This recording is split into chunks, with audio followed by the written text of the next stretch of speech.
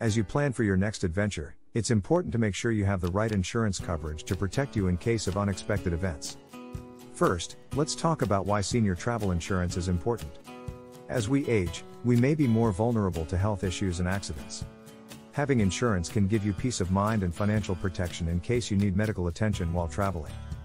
Now, let's dive into some key things to consider when selecting a senior travel insurance plan. One important factor is the type of coverage you need. There are several different types of travel insurance plans available, including trip cancellation, medical coverage, and emergency evacuation coverage.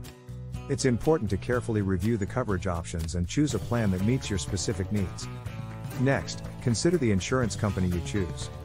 Look for a reputable company with a track record of strong customer service and claims handling. It's also a good idea to read reviews and compare prices from multiple companies to find the best value. Cost is also an important factor to consider. Travel insurance plans can vary significantly in price, depending on the coverage you choose and the insurance company you go with.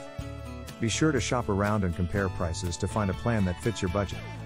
When evaluating travel insurance plans, it's also important to consider what to look for in terms of coverage. We recommend getting at least $150,000 in medical coverage per person, as well as COVID insurance to protect you in case of a pandemic. It's also a good idea to have at least $250,000 in medical evacuation coverage in case you need to be transported to a hospital or back home due to an emergency. Additionally, be sure to check that your plan covers pre existing conditions so you can have peace of mind while traveling. Now, let's address some frequently asked questions about senior travel insurance. Q. Can I get travel insurance if I have pre existing conditions? A. Some travel insurance plans do cover pre existing conditions, but it's important to carefully review the terms and conditions of the plan to make sure it meets your needs. Some plans may have exclusions or limitations on coverage for pre existing conditions, so it's a good idea to speak with the insurance company directly to understand your options. Q. Do I need travel insurance if I have a comprehensive health insurance plan? A. It's always a good idea to review your current health insurance coverage before traveling to see what is and is not covered. While your health insurance plan may provide some coverage while traveling, it's important to keep in mind that it may not cover everything. For example, your health insurance plan may not cover emergency medical evacuation or trip cancellation. Travel insurance can provide additional protection in these areas.